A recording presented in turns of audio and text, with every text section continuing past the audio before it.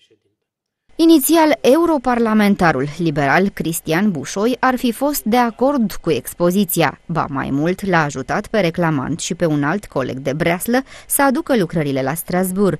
Însă, chiar înainte de expoziție, demnitarul i-a interzis artistului plastic să își mai expună lucrările, pe motiv că acestea reprezintă detalii intime ale corpului femeii.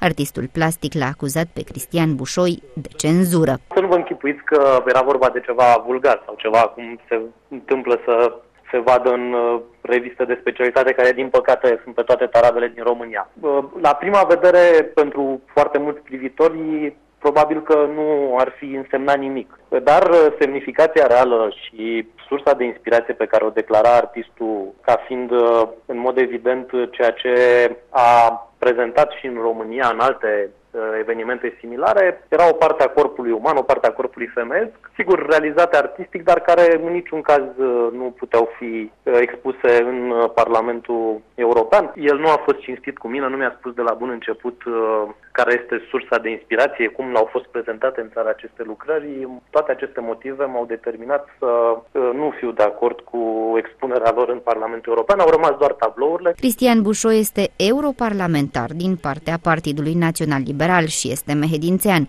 În ciuda tuturor explicațiilor date jurnaliștilor, sculptorul căruia i-a interzis să-și expună lucrările susține că, din contră, imaginea țării noastre a fost lezată deoarece au fost cenzurate câteva opere de artă.